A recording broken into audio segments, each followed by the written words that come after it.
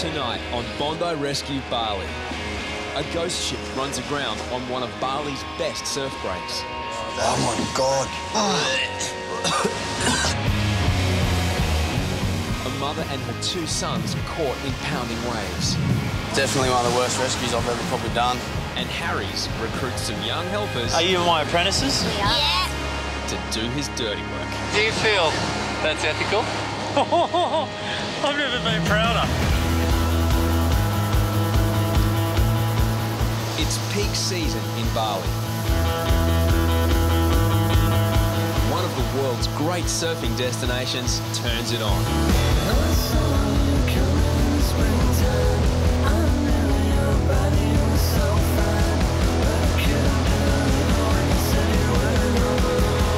A powerful swell pushes up from the Indian Ocean. In the challenging conditions, Kuta's lifeguards are on high alert. Spinal injuries are a constant danger as inexperienced swimmers encounter big waves and shallow sandbanks. Watch the waves, watch the waves. Now, Kuta's brand new spinal board gets a workout as Terry oversees a professional training course. Now talk to him. Hold, hold him, wait coming, hold each other. challenge is to train what is essentially a 110 person lifeguard service in the safe use and effective use and professional use of all the equipment they've been given. Come over the top, brace his head. Immobilising suspected spinal injuries is crucial. Good boys. The slightest movement can cripple a patient suffering a neck or back fracture. Now, headman, who's our headman? Stay with him, support that head. The guys have been really attentive and really uh, passionate about the training they're receiving. And once we get this out and roll it out onto the beaches and save some lives, I think it's going to be absolutely wonderful. Have you told him what's going on? Tell him they're going to Yeah. hospital. Kita ke hospital sekarang. Dan, You are good to go? Yeah. hospital driver. As the training continues, Tom and Whippet attend a commotion down the beach. I just want to try to save your life. That's it. But you keep. You, yeah, because you keep swimming there. I tell you, I tell you to go out. You keep swimming. Okay. If you want to go die, go die. A group of Russian tourists have just been rescued by a local surf school operator. Oh, he's just a little upset, that's all. It's just because he probably thought you guys were in trouble. Don't go out too far. I wouldn't be laughing in them because it's Nah, really dangerous. Just the current going, so just stay at waist depth. Thanks, guys. We just try to save them life. That's it. And I just laugh in your face. Exactly. But Well, next time happens you go all the there, but I don't gonna. I'm not gonna let them die. You know. Yeah, Even nah. what? Even Mate, what? Thanks for your help. No worries, Really bro. appreciate it. Makasih banyak. Elite has surfed Kuta all his life, and he's seen enough tragedy. Four months ago, these these people swimming from just like there, and then then and then the water start going low, and they, and then they keep going there, and then one big set come, the high tide, boom, and they drag them again, they, and they die. Mom, father, and daughter die in same time. Big swells hit Bali regularly during peak season. At post four, Yeoman makes a rare call. We just close to the, for the beach today for swimming area because the water so rough. It's hard to tell them because they come to Bali, they come to the beach. Of course, they want to swim, but we try to tell them. We just try to do the best how we can. Just keep telling them, don't go too far.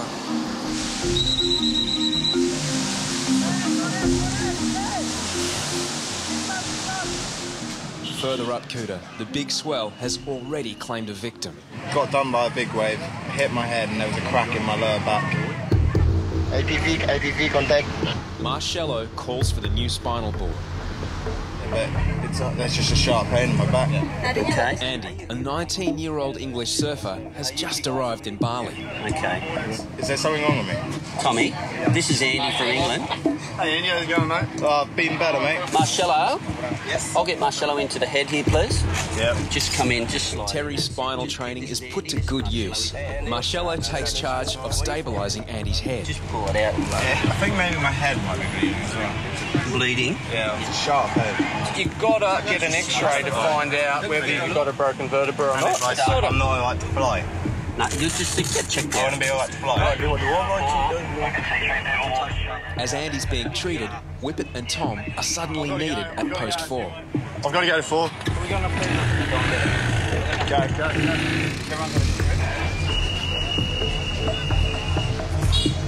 Want head up that end. Only this week we brought that equipment on site. Only this week we've run through the training with all the pro lifeguards. I'm confident the fact that we've packaged him up so professionally that he's going to be okay, we'll know in a matter of hours his fate. At post 4, the situation is critical. Whippet helps rescue three swimmers being pounded by violent waves. So three guys are in there. Tommy Whip, and they're caught right in that impact zone, eh? Even a kilometre away, Terry can see what the boys are up against. Swell's about a metre and a half plus, less than a foot deep, breaking on a really shallow sandbank, just churns away. These are the toughest conditions his crew have dealt with on Kuta. Balinese lifeguards have managed to get a rescue tube on the woman.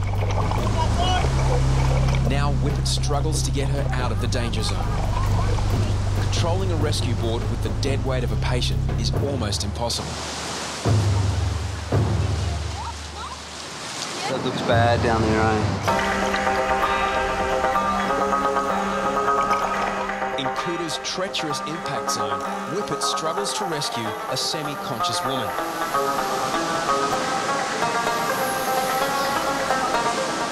He signals the patient urgently needs oxygen. She's safely ashore, but the woman's two sons are still in the surf. Yeah, come, come.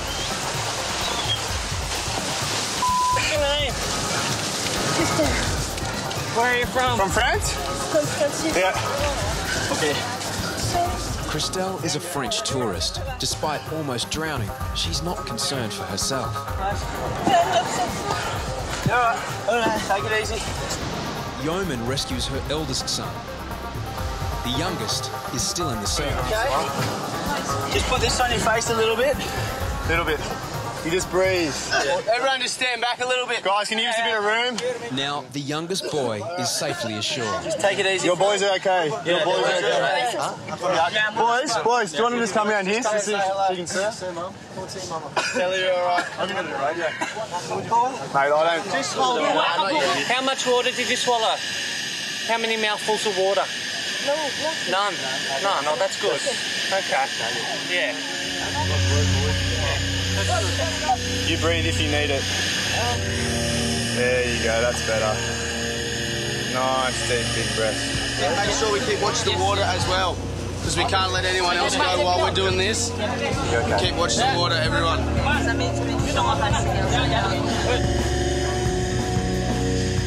Your mum, she's okay. She'll be okay. Nearly drowning is traumatic enough for the boys.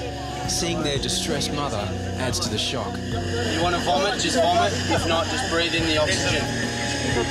No English? Parlez-vous anglais? Is your son okay? I don't need a warrant, sir. Well, okay. 14 year old remains breathing becomes rapid and shallow. Medical attention now turns to him. He's just hypo, just Long, slow, slow. yeah. Long, slow, deep breaths. Nice and slow. Seeing the crowd has alerted Christelle's sister.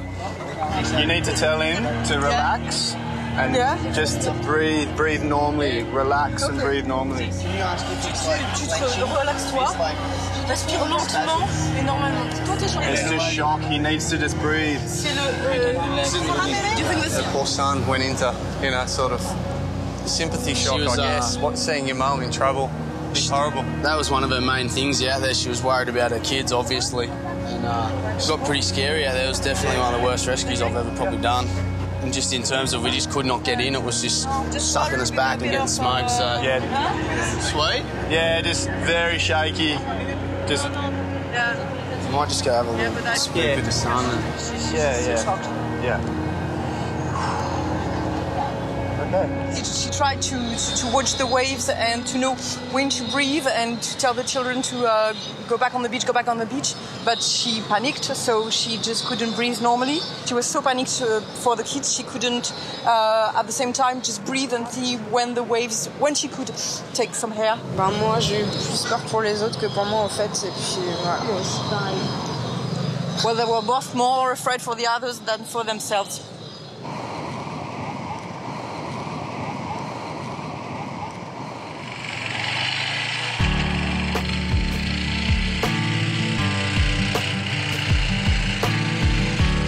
I make you lazy. Jump on. After two weeks on Kuta, the Bondi boys are settling in. That's so beautiful, mate. Hey. What do you reckon? One of the best? But exotic Bali has a surprise in store.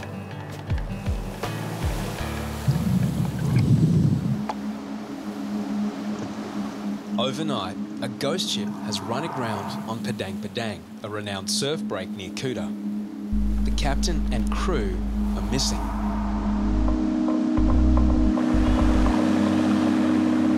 Yatesy and Chapo can't resist the temptation to investigate.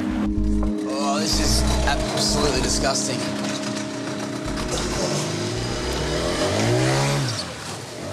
It's all sharp. Oh my god.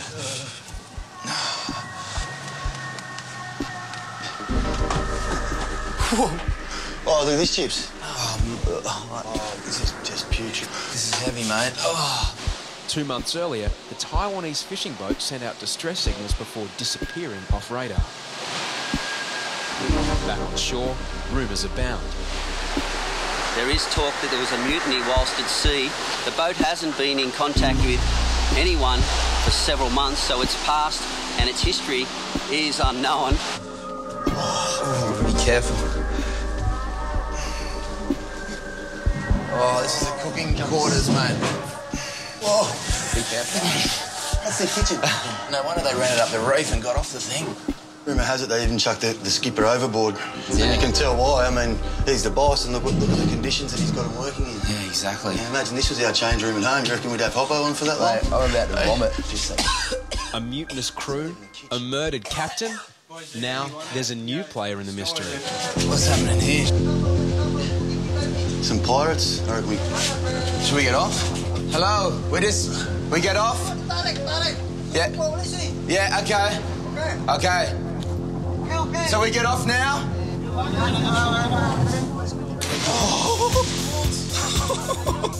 These guys are pirates. Take me back to the, the sweet times, the hot nights.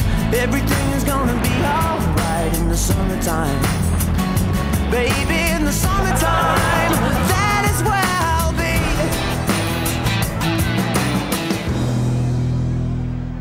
As lifeguards investigate the mysterious wreck, an unidentified boat approaches. It's okay. These guys are pirates.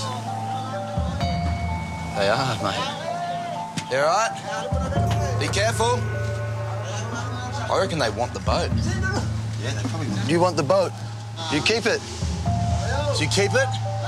Yeah, yeah, you keep it. Yeah, that's what I thought. They want it. So where's the captain? Maybe in here. Maybe dead somewhere. Maybe they threw him over the edge. Do you want this? Uh... No. No, we Do don't you- want. do you want- boat? No, no, we don't want boat. We're just looking. We're just having a look. When the Balinese lifeguards turn up, they help set a few facts straight. Yeah. Do they? Do they want the boat? They want to uh, push with the 10 boat. 10 boat like the 10 same. boats like And that pull one. back. Yeah, and then pull back. Wow. But no thinking about the petrol. Okay. They- They, they're working okay. at low tide this afternoon. Yeah. Okay. Okay. Now we know. All right, good. That's all a bit clearer now. wow. Oh, well, so they are a salvage team. They don't want to keep it. But how to salvage a 50 ton fishing boat from a pristine reef? The bridge in there is full of diesel and petrol and just Dead chickens and tubs of beef and yeah. And if that if that seeps through, into the ocean, it, Yeah, so there's a whole Could escalate. so many issues going on in this place, and the swell, this- the swell's a big issue too. yeah, the swell. we can feel I it coming up now. It's, it's there's definitely bigger sets coming through now. and it'll just roll it over this reef and cut it to pieces. You know, the reef and the boat.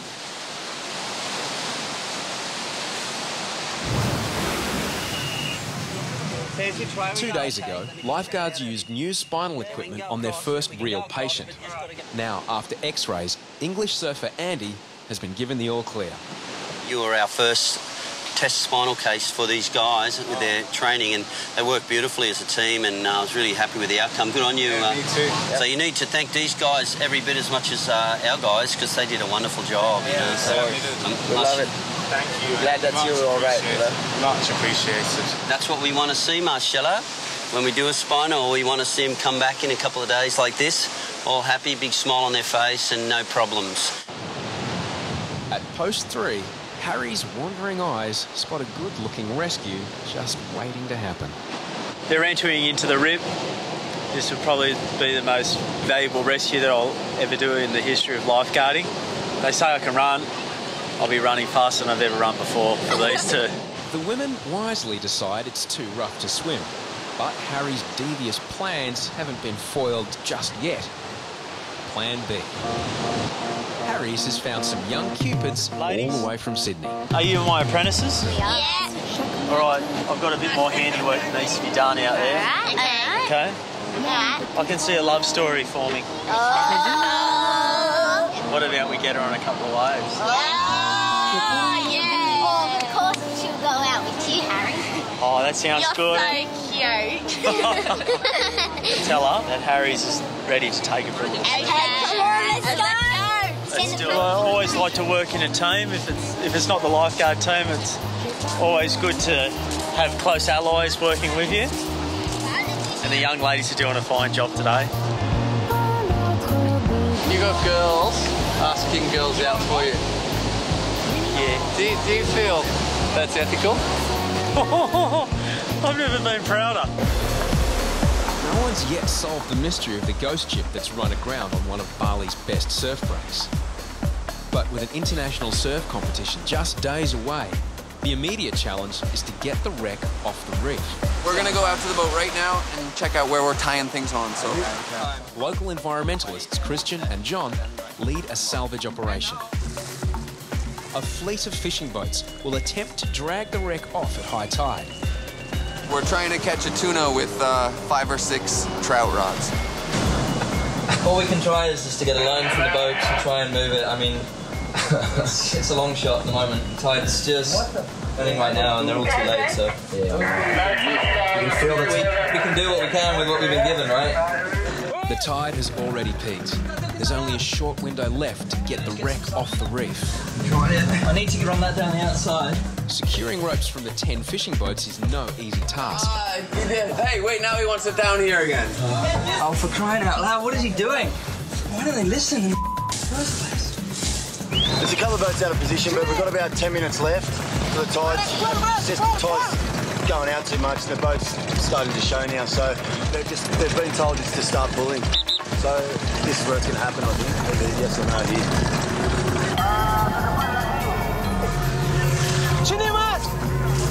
If the wreck can't be moved, it will sit at the mercy of Bali's big swells and risk breaking up.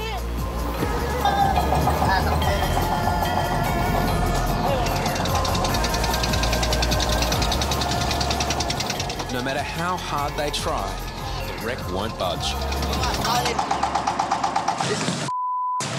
Not going to work, so we have to go to plan, plan B. eh? Yeah, copy that, mate. What um what is it? Plan B. I'm going to try and get a decent sized anchor this afternoon, and John's going to uh, try and get that tugboat sorted out for tomorrow on the high tide. It's uh, anything we can do, I think. Yeah, copy that, mate. Yeah. Oh well. I guess we'll um we'll see each other tomorrow. Yeah, roger that. Back on Kuta, Harry's cunning plan to meet a girl is proceeding like clockwork. That's really good work. I'm so proud of you two. She's coming down. See? Oh, Yatesy, something's happened. There's a gorgeous lady from France that needs to catch a couple of waves.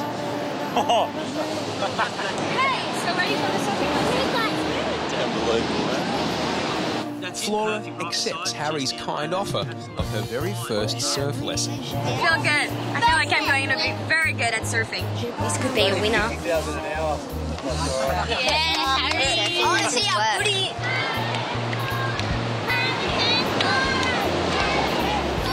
This is why he's the best. Harries he's the best in his element.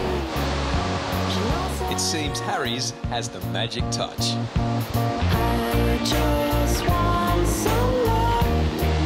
Down the surf with four, four Gommy chicks from Maroubra and the French girl giving him all surfing lessons, mate. All time up here. He's the best ever.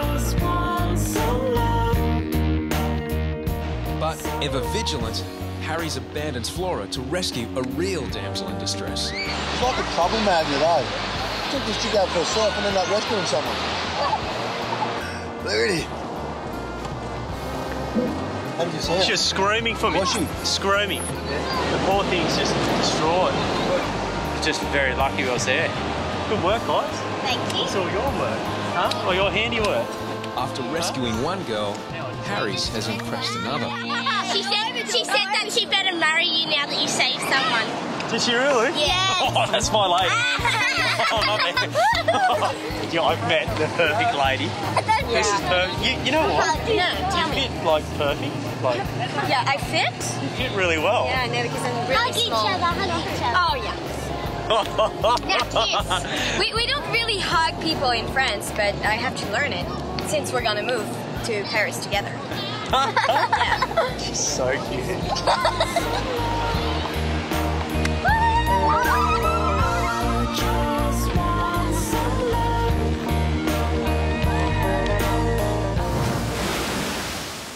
Overnight, Bali's big swells have done what 10 fishing boats couldn't. How did it get washed up against that rock so so quickly? Swell coming, they kick the boat. Did you see that happen? Yeah, I'm see from the, my tower. Oh, really? With the diesel safely drained from its tanks, the ghost ship will be slowly cut up. Hopefully, you'll have your beautiful coastline back shortly. While the fate of the captain and crew remains a mystery, Padang's international surf comp can get underway. Solid swell coming from the west, coming from a long way. We aim for a 10 start.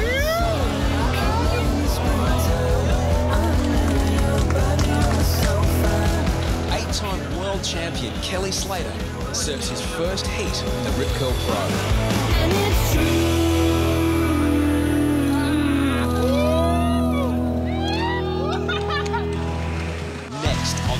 Rescue, Bali. We don't know what kind of state he's in. Drama beyond the break. He's unconscious. Okay. A holiday comes to an abrupt end. don't have to like amputate my leg. Life and death Balinese style. The bodies go inside the cows. And the Bondi boys get lost in translation.